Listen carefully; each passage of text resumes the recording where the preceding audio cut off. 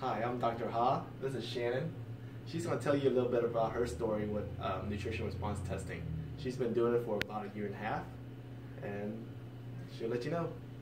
So actually, um, my sister started doing it um, for her and her kids, and so I got kind of interested in it through through there. But when I moved out to California, I started experiencing some just weird symptoms that I had never experienced before.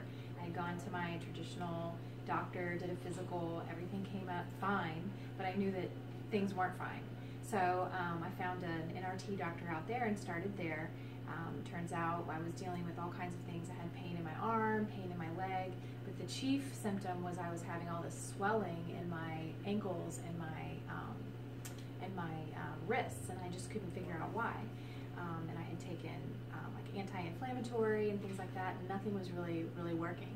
So um, started on my program there, and it was really interesting because things would get fixed really quickly, and then something else would show up, and then that would get fixed, and something else would show up, and so we just started peeling off the layers, and I just continued on when I moved back to Texas, and now I'm here and continuing on with that. And I guess for me, most of my problems came from trying to heal the liver and now trying to heal my digestive system. I was working on my thyroid for a while and um, had lost actually 20 pounds just through doing the supplements.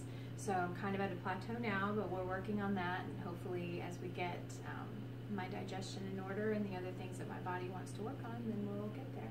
So for me, I fully recommend it to anybody and everybody. It's healthy, it makes you feel good. I'm not sick as much as I used to be. I used to get colds all the time and sinus infections, and that just doesn't happen. And now with the holidays, you know, my my father was sick through the holidays. People were complaining of sniffles and colds. I didn't have any of it.